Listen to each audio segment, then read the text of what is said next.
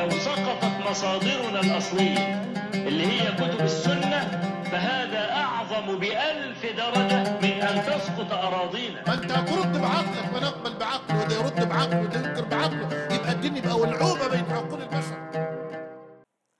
مرحب بكم أعزائي المشاهدين في حلقة جديدة من حلقات النقل أم العقل. وعنوان حلقتنا النهاردة أهل السنة يعبدون الرسول. الحقيقة النهاردة في مفاجأة هنعرفها مع بعض في الحلقة مع ملخص صغير آه، ومن خلال يعني بعد الملخص ومن خلال الملخص لحلقات التبرك. إحنا شفنا في عقيدة ابن حجر إن لو في حد حب يدفن في آه، أماكن مقدسة وبجوار مدافن الأنبياء أو قبور شهداء والأولياء علشان الرحمة النازلة عليهم والتبرك وهو ميت منهم جائز عنده عند ابن حجر يعني. وشفنا مش كده وبس لأ قال التبرك بفضلات الصالحين وطعامهم ومالهم وأهل السنة طبعا ردوا قالوا التبرك بذوات الصالحين أو بجاههم أو بحقهم كل ذلك لا يجوز والصواب التبرك بدعائهم لا بذواتهم لأن التبرك بذوات الصالحين أو بجاههم أو بحقهم كل ذلك لا يجوز وهو دائر بين الشرك الأكبر والأصغر فيحذر منه. وشفنا إن عقيدة ابن حجر التبرك بالرجل الصالح وسائر أعضائه وبملابسه وبطعامه وبماله وبآثار الصالحين وكل ده بيخالف لعقيدة أهل السنة وبدعة ونوع من الشرك. وطبعا ابن حجر بيأكد بيعتقد كده لأنه بيعتقد إن الميت بيحيي حياة كحياة كالحياة الأخر الأخروية يعني فيها أكل وشرب وكده. في القبر وشفنا إزاي أهل السنة بينكروا حياة الأنبياء في قبورهم وبيأكد إنها حياة برزخية لا تشبه حياة الدنيا ولا الآخرة وإن الأشاعرة ومنهم جلال الدين السيوطي قال إن الرسول بعد وفاته مازال حي على نبوته وابن حجر بيأكد إن الأنبياء معصومين حتى من الصغار وإن العصمة واجبة حتى قبل النبوة وإن الأنبياء معصومين في المنام والمعنى في منامهم أنفسهم وقد يكون أيضا في منام غيرهم لهم.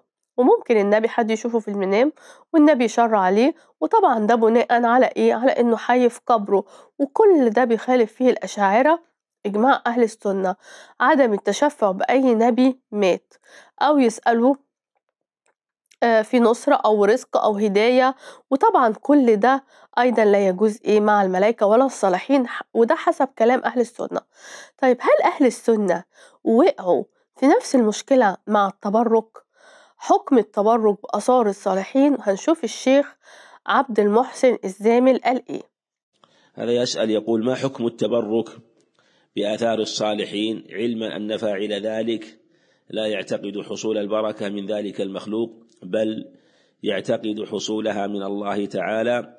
هل يعتبر شركا أكبر ويعتبر وسيلة إليه وبدعة التبرك بآثار الصالحين أو نفس التبرك عبادة. والقاعدة في العبادات أنه لا يشرع منها إلا ما جاءت به النصوص وخاصة في مثل هذا الأمر الذي يترتب عليه آه، أمور أخرى. ولهذا سد أهل العلم هذا الباب وحكوا الاجماع على هذا وهو أن التبرك بآثار الصالحين من البدع وأنه وسيلة قريبة وطريق مفض إلى الشرك والغلو الغلو ثم الشرك بل ربما يصل إلى اعتقاد أن هذا المتبرك به له تصرف في الكون. وهنا واحد بيسأل الشيخ إيه حكم التبرك بآثار الصالحين؟ علما بأن الفاعل لذلك يعتقد إن البركة اللي هيحصل عليها مش من المخلوق ولكنها من الخالق. راح الشيخ جاوبه وقال له إيه؟ قال له إن التبرك بآثار الص- بآثار الصالحين وإن نفس التبرك ده عبادة وحكم عليها إنها بدعة وسيلة للشرك.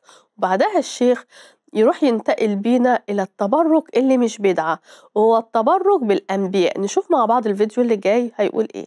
كما يقع لكثير ممن غلا في من يعتقدون فيهم الصلاح.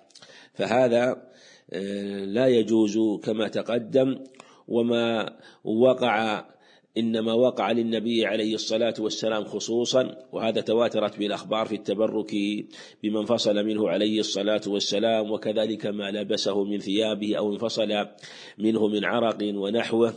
آه، ولهذا كان خاصا به صلوات الله وسلامه عليه ولا يقاس عليه غيره. وهنا شفنا الشيخ راح قال إيه؟ التبرك من النبي في من انفصل عنه من ملابسه أو انفصل عنه من عرق ونحوه ده خاص بالنبي. التبرك بآثار الصالحين أو نفس التبرك عبادة. طبعا الشيخ حكم على إن التبرك بآثار الصالحين بدعة وعشان كده مباشرة على طول انتقل للتبرك نفسه وحكم إنه عبادة. وطبعا هو بيقصد التبرك اللي مش مش بدعة واللي هو التبرك بآثار الأنبياء. والسؤال إزاي التبرك عبادة؟ لأننا مثلا نعرف إن العبادة اللي هي بيعملها بياخد عليها أجر واللي بيتهاون فيها بياخد عليها ذنب أو على أقل تقدير يساب فاعلها ولا يأسم تاركها. والسؤال التاني إزاي عبادة؟ هل المقصود عبادة لله؟ يعني مثلا أعبد الله بالتبرك بعرق الأنبياء مثلا. طيب ليه ما يكونش العبادة مباشرة لله؟ وخصوصا أن القرآن بيقول وإذا سألك عبادي عني فإني قريب إلى آخر الآية ليه ما قالش إذا سألك عبادي عني فليتبركوا بآثار النبي وعشان نفهم كلام الشيخ. خلينا نعيد قراءة ما قالوا. التبرك عبادة. شوف نشوف هنعيد الكلام اللي هو بيقوله. والقاعدة في العبادات إنه لا يشرع منها إلا ما جاءت به النصوص. وما وقع إنما وقع عن النبي عليه الصلاة والسلام خصوصا وهذا تواترت به الأخبار في التبرك بما انفصل منه عليه الصلاة والسلام. وكذلك ما لبسه من ثيابه أو انفصل منه من عرق ونحوه ولهذا كان خاصا به صلوات الله وسلامه عليه ولا يقاس عليه غيره. يعني التبرك عبادة والنصوص تؤيد هذه العبادة لكن عبادة لمين؟ يؤكد الشيخ أنها عبادة لمن يتم التبرك به. بيقول إيه؟ وما وقع إنما وقع للنبي عليه الصلاة والسلام وخصوصا وهذا تواترت به الأخبار في التبرك ويأكد الشيخ نقطة مهمة ويقول إيه فدل على أن هذا مخصوص به صلوات الله وسلامه عليه وهذا لا يستغرب لأن له خصائص يعني التبرك عبادة خاصة برسول الإسلام ولو كان لغيره فهي شرك. هل عبادة رسول الإسلام طبعا تحت مسمى بين قوسين التبرك من خصائصه؟ خلينا نتابع هيقول إيه في الفيديو اللي جاي. ولذا لم يفعل هذا الصحابة رضي الله عنهم في عهد النبي صلى الله عليه وسلم مع الصحابة. لم يفعل لم يفعله بعضهم مع بعض. وكذلك لم يفعلوه بعد موت النبي عليه الصلاة والسلام. فلم يفعلوه مع أبي بكر ولا مع عمر ولا مع عثمان ولا مع علي ولا بقية العشرة ولا أصحاب بدر ولا أهل الشجرة ولا غيرهم من الصحابة رضي الله عنهم. فدل على أن هذا مخصوص به صلوات الله وسلامه عليه. وهذا أمر لا يستغرب لأن له خصائص لأن له خصائص. وإلا لو قيل بهذا لانفتح الباب في بقية خصائصه. وتقدم أن من عمل أن أصل العبادة المنع وعمله كما قال سبحانه عملهم شركاء شرعوا لهم من الدين ما لم يأذن به الله. وقال عليه الصلاة والسلام من عمل عملا ليس عليه أمرنا فهو رد. من أحدث في أمرنا هذا ما ليس منه فهو رد. من صنع عليه شيئا ليس عليه أمرنا فهو رد. بمعنى مردود فهذا من أبواب البدع ويفضي إلى الغلو والشرك الأكبر. فلهذا حكوا الإجماع على هذا والصحابة أحكموا هذا الأمر. وهنا الشيخ أكد إن الصحابة ما فعلوا أمر التبرك ده مع بعضهم البعض ولم يفعلوه كمان بعد موت النبي ولا حتى فعلوه مع أبو بكر ولا عمر ولا عثمان. ودي حاجة خاصة لرسول الإسلام وإن طبعا للرسول إن طبعا للرسول ليها خصائص وإنهم لو فتحوا الباب ده في خاصية التبرك لفتح باب بقية خصائص الرسول. وإن ده طبعا شرك وبدع وهيفضي إلى الشرك الأكبر. بس مع الرسول مش شرك ولا عبادة. ومن خلال تسجيل الشيخ عرفنا أولا أن التبرك عبادة ثابتة بالأدلة والنصوص. ثانيا لا يجوز التبرك إلا بالرسول وأثاره فقط. يعني المسلم لما يتبرك بالرسول أو أثاره هو بيعبد ربنا. طالما إن اللي بيتبرك بالرسول أو أثاره بيعتقد إن الله هو اللي بيدبر الكون وهو اللي بيخلق ويرزق مش الرسول. السؤال إيه الفرق في الحالة دي؟ إيه في الحالة دي بين المسلم وبين ابن حجر اللي بيقول زي ما قلنا في الحلقات اللي فاتت إن السجود لصنم عبادة لربنا طالما إن اللي بيسجد لصنم مش بيعتقد إن الله هو اللي بي إن إن الله هو اللي بيدبر الكون وإن هو اللي بيخلق ويرزق مش الصنم. بيعتقد إن الله هو اللي بيعمل كده مش الصنم. إزاي أهل السنة بيعتبروا كلام ابن حجر شرك؟ وهم بيقولوا نفس اللي بيقوله ابن حجر لكن الفرق إنهم قالوا الرسول وابن حجر قال الصنم. والنقطة المهمة إن أهل السنة لما يقولوا عن كلام ابن حجر إنه شرك وأول ما يشع- يشعروا يعني إن إنهم بيقولوا نفس الكلام بتاع ابن حجر على طول نشوفهم يقولوا إيه؟ كلام ده مش شرك لأن في أدلة عليه مع إنهم بيقولوا نفس كلام ابن حجر.